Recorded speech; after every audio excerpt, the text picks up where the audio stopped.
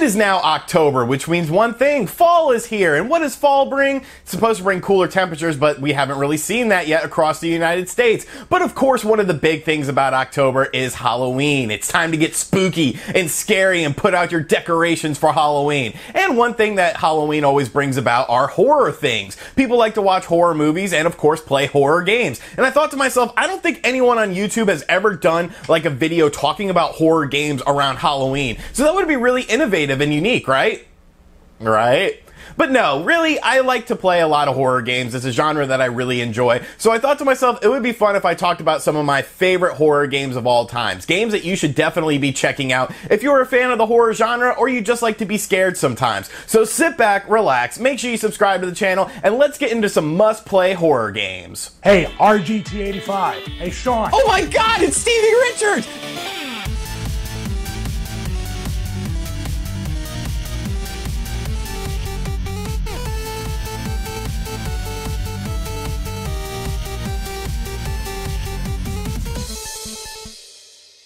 The first game I want to talk about is a game on the Sega Saturn called Enemy Zero. Now, this game was a really impactful game when I was younger because it was just so unique and so interesting. Enemy Zero basically takes place on a spaceship, and you wake up from a cryogenic sleep and find out that something is completely wrong. A lot of your shipmates are dead or are dying and being chased by something. So, it's sort of a tale of two games. Basically, when you're in little pods and stuff, it's a point and click style adventure. This sort of takes place within the D universe. Now, D is a series that we have talked talked about on the channel before. The first D was a point and click game. The second one was more of an open world sort of thing, but it did implement some point and click style uh, things into it. Now, of course, when you're in these little areas, you're basically searching for clues, basically searching for items, but there's also an open segment where you are traversing through the ship getting to different levels. And when you are in these open segments, that's where the horror really begins, in my opinion, because of the enemy that is on the ship. Now, the cool thing about the enemy on the ship is it's invisible. So you might be thinking to yourself, well, an invisible enemy. How is that scary whatsoever? Well, it's all based on sound, and there's a tinging noise that goes on. And if you're close to the enemy, it gets louder and faster, and it really builds up a lot of suspense because you can't see this enemy, but you're trying to blast them with your little blaster that you have. And it really makes for some awesome situations. There's a lot of trial and error within the game, unfortunately, but I think that sort of adds to it because you always have this gloomy feeling that you're about to be attacked and you're about to die. And if you haven't saved in a while, well, you're going to be screwed. The game still looks pretty good. Unfortunately, it's definitely a bit expensive if you are picking up a retail copy of this game, as it has been going up in price over the years because people are finding out about this game. But Enemy Zero is definitely a really fun and unique survival horror game. There's a lot of suspense in it. The gloomy feeling of always being attacked by this invisible alien enemy is always there, and it always is really fun and really tense. And it's a game that I really enjoy. It's definitely worth checking out, and definitely a very fun horror game. A game that I feel is a bit overlooked in the horror genre because it's not really a traditional horror game, is Condemned Criminal Origins. Now, this was a game that I played when it first came out in the Xbox 360, and I absolutely loved it. I thought it was fantastic. You play as a crime scene investigative unit guy who is looking for a serial killer named Serial Killer X. He's basically been killing people in condemned buildings, and you're having to go to these different condemned buildings, dealing with different people who seem to be normal, but they may be under a bit of a trance, and it all takes place in a first person perspective. There's some light puzzle elements in the game as well, and I really like this game. It's very dark and very brooding. It doesn't really do too much in the world of jump scares, but it's more of just tension, a constant tension that is within this world of Condemned. The story, a lot of people didn't really care for it, but I think it's actually good. It sort of is a bit slow at times, but it definitely keeps you going as you are trying to find Serial Killer X because a lot of sort of supernatural things keep occurring. It's a very gritty game, but a very fun game. If you like first person style games, you're really going to enjoy this game. There was also a sequel to this game that I really enjoyed as well. It had some really fun online multiplayer, but Condemned Criminal Origins, I feel, is the better of the two games in terms of single player stuff. Obviously, you can't play the multiplayer stuff anymore, and it's a super cheap game. So if you have a 360 or a PS3, it's definitely worth checking out Condemned Criminal Origins if you're looking for some light scares with some really interesting atmosphere. One thing that you don't see very often in the horror genre are co-op games. Most of them are single player experiences, games to be experienced by yourself, but the Obscure series sort of deviates from that and allows you to be a multiplayer local co-op experience. Now the first Obscure came out on the PS2 and the Xbox, Obscure 2, the Aftermath came out on the PS2, Nintendo Wii, and PSP. I like Obscure 2 a little bit more than Obscure 1, but basically they're the same sort of style of games. In Obscure 1 you play as high school students who have something going on within their high school, an evil presence, and you have to figure out what's going on. In Obscure 2, it follows most of those kids as they go to college. I like Obscure 2 though, because I feel like there's more environments to check out and there's different sort of elements in this game that have you doing different things. You know, you're not just sort of stuck in the high school like you are in the most of Obscure 1. In Obscure 2, there's some different deviations in terms of environments and things like that. The ending of the game is really fun as well in Obscure 2, but I really like the Obscure series. These were sort of budget titles. They both released at $30 brand new. But if you're looking for something to play with a friend, a local co-op experience in a survival horror game, it's really fun. The story writing is very sort of late 90s, early 2000s horror movie stuff, sort of like Scream, I Know What You Did Last Summer. It's very cliche, but I feel like it sort of plays into the game and sort of helps set the atmosphere of this game. Whether it's Obscure or Obscure 2, they're definitely games worth checking out. Really fun games, and really th- I think they're games that you'll enjoy.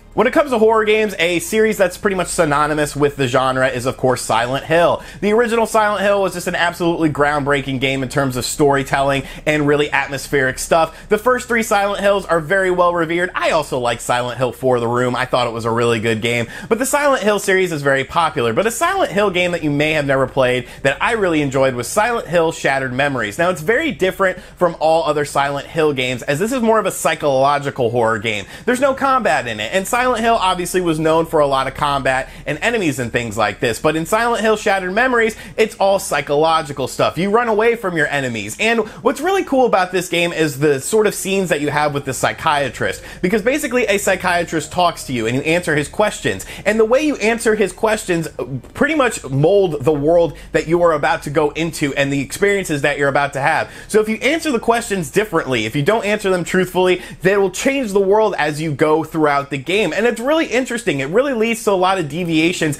and multiple playthroughs in the game. It's definitely more of a puzzle style game, and it's definitely, you know, not a survival horror game in the true sense of where there's combat and stuff like that. But the psychological horror really starts to play into you, and it's a really fun experience. Definitely very unique when it comes to the horror genre, and definitely a criminally underrated game in my opinion. This game released on the PS2, the Nintendo Wii, and the PSP. I highly suggest you check it out if you're looking for something a bit different in the horror genre because it's a really great game. Another game that sort of is a first person shooter horror experience that is absolutely timeless in my opinion is Fear. I absolutely love Fear. I remember playing this game on the Xbox 360 and I was immediately sucked in. It's sort of a futuristic thing going on, but there's a little creepy girl and you're trying to find out why this little creepy girl exists, what she is doing, what sort of psychokinetic powers she has, and all sorts of crazy stuff like that. It really makes for a unique horror experience because it's this type of horror game where when you start playing it, it starts to feel like a first person shooter. And you're going through these environments, doing these things, blasting through enemies, and you almost sort of forget that this is at its core a horror game. And then something will come along and something will terrify you, and then it sort of brings you back to reality. It's a really fun game. The story in it is pretty good, and it got a bunch of sequels as well. There was Fear 2 and Fear 3.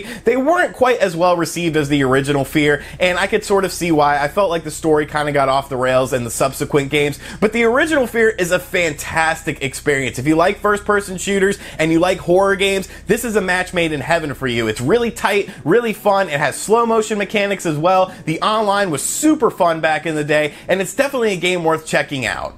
One of my favorite horror games of all time is Dino Crisis. Now, this game released on the PS1 and the Dreamcast, and I definitely recommend checking out the Dreamcast version of the game if possible because the graphics are a bit better and I feel the controls are a little bit better. But Dino Crisis, when it released, was pretty much considered to be Resident Evil with dinosaurs. So a lot of people didn't really think it was all going to be all that scary. But I think the inclusion of dinosaurs actually made Dino Crisis a scarier game than the original Resident Evil because these raptors and tyrannosaurs and things like that were much more intelligent and much faster than they were the zombies until we got Crimson Heads in Resident Evil Remake. So it really made for an interesting experience. It really just plays out like a Resident Evil style game. You are dropped into a base and you find out that this base is overran with dinosaurs and the dinosaurs are trying to kill everyone. And you have to pretty much rid them of the dinosaurs. So it's kind of a cliche story, definitely that early Capcom sort of stuff, but I really enjoyed this game. There was a sequel to it as well, Dino Crisis 2, that was definitely more of an action game. Dino Crisis 3 was just outer space and a bunch of crap, but the original Dino Crisis is a fantastic game. It really sets a great pace and a great mood. If you're a fan of original Resident Evil style games, you like those sort of puzzles and things like that, and you want some more intricate enemies that are a bit quicker, a bit smarter, and a bit faster, Dino Crisis is definitely going to scratch that itch. A lot of people seem to like this game, but I think more people need to love this game because it's absolutely fantastic. Hopefully we see a remaster of Dino Crisis one day because I think it's a series that would do really well. You know, a lot of people don't consider the original Jurassic Park to be a horror film, but there's definitely horror elements in that. The original Tyrannosaurus scene, that's sort of a horror film. The kitchen scene with the raptors, that's sort of a horror film. And I feel that's what Dino Crisis really encompasses this sort of fear of dinosaurs and dinosaurs being the unknown. It's a really fantastic game. Definitely check it out if you haven't before. Well, the next game I want to talk about definitely isn't necessarily a scary game, it's definitely a horror game in that it's very bloody, very violent, and very fun. And that is the original House of the Dead.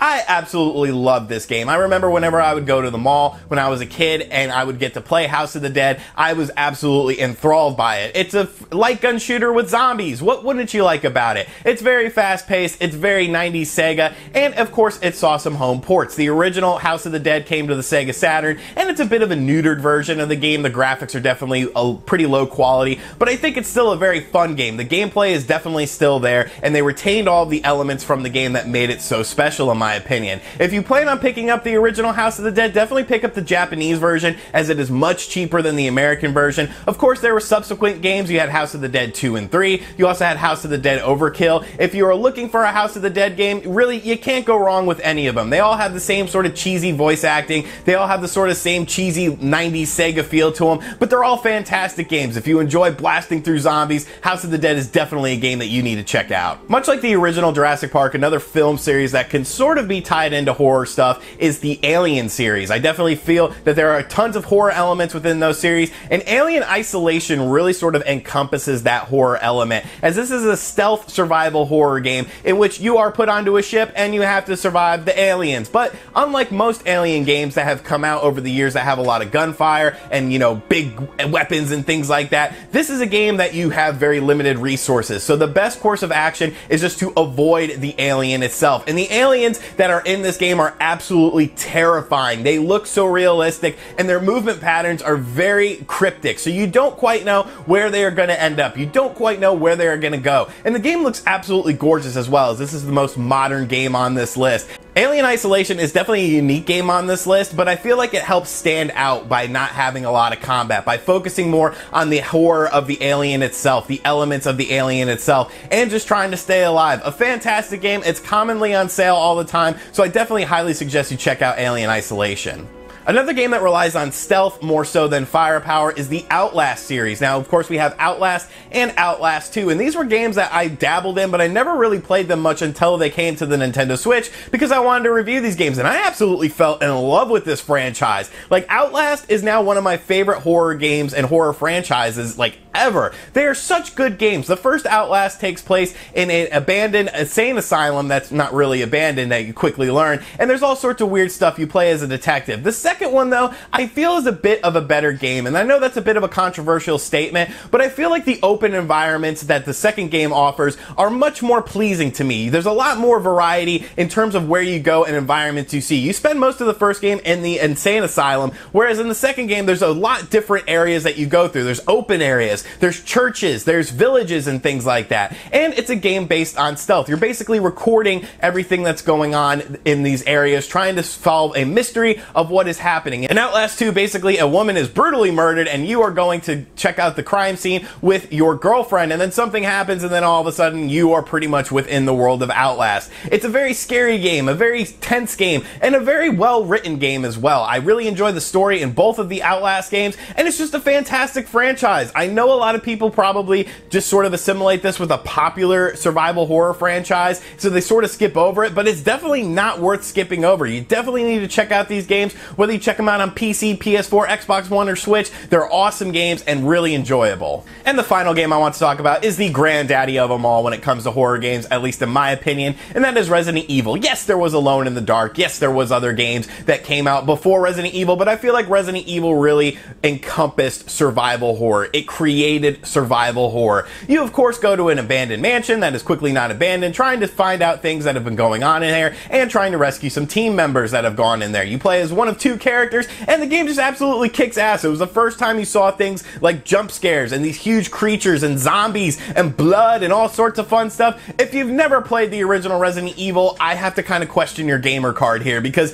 the original Resident Evil is just such an amazing experience. There's a ton of different ways to play it. There, of course, is the original uh, Resident Evil that came out on the PlayStation 1, the Sega Saturn, and there was even a Nintendo DS version of the game. Then you had the Resident Evil remake that came out on the GameCube that has been released on other systems. You need to play Resident Evil. If you only play one game on this list, play Resident Evil. Get your history up and learn about one of the best and the granddaddy of the survival horror genre. Alright, and so those are some of my favorite horror games of all time. Let me know in the comments section down below what horror games you enjoy. And I know what you're saying, RGT, where is Clock Tower on your list? I've never really gotten into the Clock Tower series, but it's something I do want to explore in the future because I feel like I'm sort of missing out. And as always, thank you for checking out this video. If you're new here, make sure you subscribe and turn on notifications. And as always, I will catch you guys on the next video. Later.